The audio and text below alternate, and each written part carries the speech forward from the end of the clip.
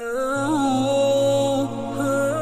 तीन तलाक और हलाला। अगर किसी औरत का तलाक हो जाता है और वो औरत फिर से अपने पति के पास जाना चाहती है तो उसे अपनी भाई, बाप या मोहल्ले के मौलवी के साथ हलाला करना ज़रूरी है। क्या सही में ऐसा है? आए जानते हैं। अल्लाह कुरान में सुरह बकारा आयात दो सौ अट्ठाईस में फरमाते हैं कि तलाक के बाद इद्दा यानी तीन महीने के बाद तलाक पूरा हो जाएगी। अगर इन तीन महीने के दौरान पति पत्नी में सुलह हो जाता है और एक साथ होना चाहते हैं तो हो सकते हैं तलाक नहीं होगा। लेकिन इन तीन महीने में दोनों के बीच सुलह नहीं होता है तो तलाक हो जाएगी। और एक साल या जितना भी दिन हो, अगर दोनों ये सोचे की हमने गलत किया, हम फिर शादी करना चाहते हैं और एक साथ होना चाहते हैं तो अल्लाह कुरान में सुरह बकारा आयात नंबर दो सौ बत्तीस में फरमाते हैं कि आप औरत को अपनी पहली पति से शादी करने से मत रोकिए, लेकिन नया निकाह के साथ नया मेहर भी देना पड़ेगा। अब अगर फिर से वही पति पत्नी का तलाक हो जाता है, तीन महीने का इद्दाह के बाद दूसरी बार फिर से एक होना चाहते हैं तो फिर निकाह, फिर मेहर सेम वही प्रोसेस करना पड़ेगा। लेकिन जब तीसरी बार तलाक होता है तो अल्लाह कुरान में सूरह बकार आयत नंबर दो सौ तीस में फरमाते हैं की अब ये फिर से पहली की तरह शादी नहीं कर सकते। एक दूसरे से जब तक किसी दूसरे से शादी ना हो और उसके साथ तलाक ना हो। ऐसा क्यों? क्योंकि शादी ब्याह कोई मज़ाक नहीं है कि बार बार तलाक दो और बार बार शादी करो। तुमने गलती की तो अल्लाह ने तुम्हें दो बार गलती सुधारने का मौका दिया है। हलाला नाम का कोई चीज़ है ही नहीं है इस्लाम में। अगर कोई मौलवी हलाला करवाता है और जो करवाने जाते हैं तो वो हराम है। और जो लोग बोलते हैं कि बाप भाई से हलाला करना पड़ता है तो उनसे मैं कह दूँ, हलाला क्या इस्लाम में नॉर्मल निकाह भी अपने भाई बाप से करना बहुत बड़ा गुना है? तो हलाला के नाम पे ये सब करना तो बहुत बड़ी गुना है। अगर आप दूसरे से शादी यही सोच के करो की एक रात रह के तलाक दे दूँगी और फिर से पहले के साथ शादी कर लूँगी तो ये हराम है। बाकी इस्लाम में इतनी छूट है, इतना रास्ता है हर चीज़ का। माशाला it is the most practical way of life सभी अलहमदुल्ला कहें और शेयर करें ताकि ऐसे गलत चीज़ के नाम पे इस्लाम को गलत ना बोले।